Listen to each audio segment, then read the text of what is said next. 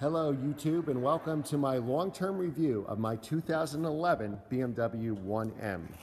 Uh, the 1 Series M Coupe was only made one year in 2011. They made 740 copies. Uh, number 740 is actually owned by BMW, so only 739 sold to the public. They came in three colors. This color, which was the most popular, Valencia Orange, they made 309 copies. The second most common color is white. The rarest color is black. Uh, this is stock except for these black grills were added. I also have a full exhaust on this car. Uh, this is an N54 straight six twin turbo engine. I have a, uh, the only modifications I have are an N55 mid pipe. Uh, the original owner did that, and then I put on a Borla catback exhaust. If you're looking for a car that's modern, that you can drive as much as you want, very reliable and will be worth money one day, I would highly recommend this car. Uh, I think these cars are way undervalued, though they sold, this is fully loaded with all four options, though they sold for about 54000 uh, back in 2011, the only year they were made. You know, this is going to be a six-figure car one day. Uh, you know, the E30 M3 is a legend, but it's, uh, they made 4,000 of them.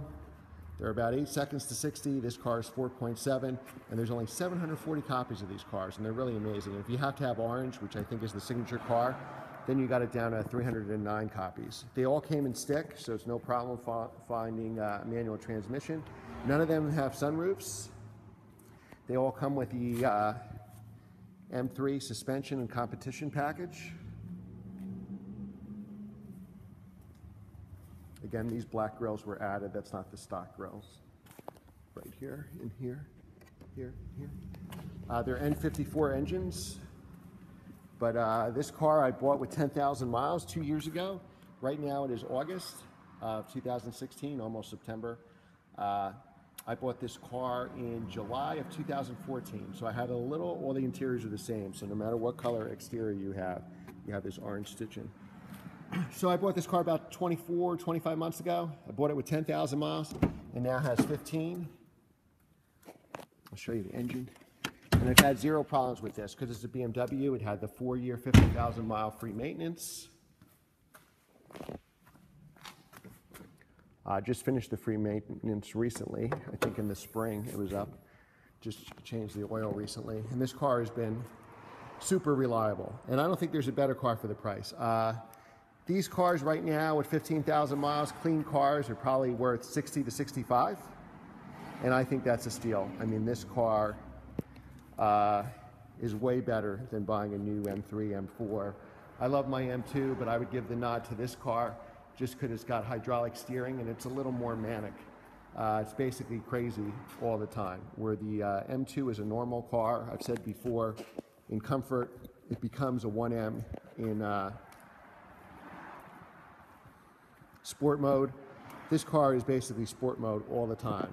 So maybe not the best daily driver because it's a little bit crazy, but uh, for a weekend car, you can't beat it. If I had one drive on a Sunday morning and it was this or the M2, I would pick this car.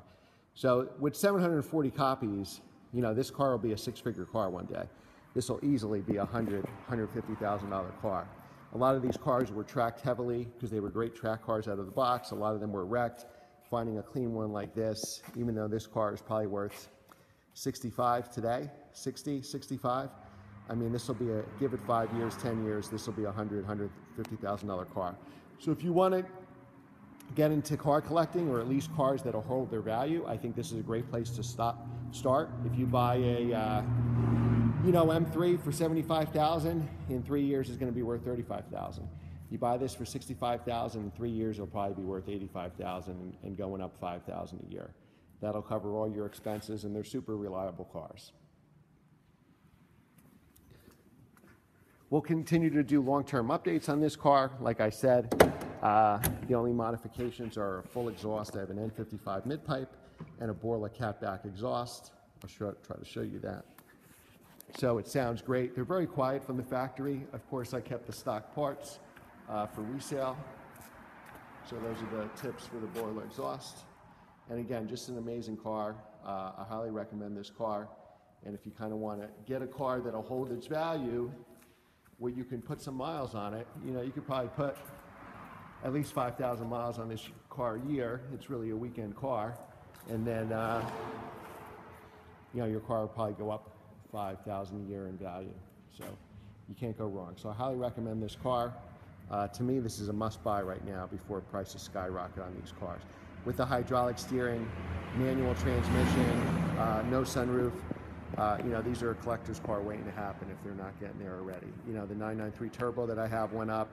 Uh, my NSXs went up. This is the next car that's going to go way up in value. The M Coupe, my S54 M Coupe, also has gone way up in value. So this is the next one.